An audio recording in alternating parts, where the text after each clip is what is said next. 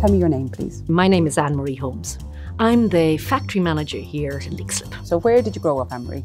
Oh, I grew up in the west of Ireland in County Roscommon, actually Roscommon town. And what advice would you give to your 16 year old self?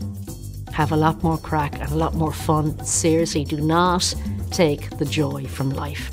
What was your first job? I was uh, the babysitter uh, on our street. Let me assure you, I spent all of that babysitting money bribing those boys to do what I needed them to do. So it wasn't profit making. What's the thing you most liked about Intel?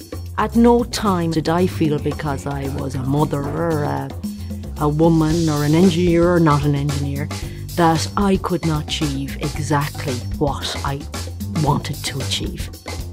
What's one of the things you couldn't live without? Barry's Gold Blend tea. And who has inspired you most as a leader? My mum, hands down. She um, has absolutely taught me things that have been invaluable. Don't ever ask somebody to do something you wouldn't be willing to do yourself. Be loyal, value loyalty. I think they're all extremely, extremely important lessons for anybody at any level in any organisation. What's your favourite song?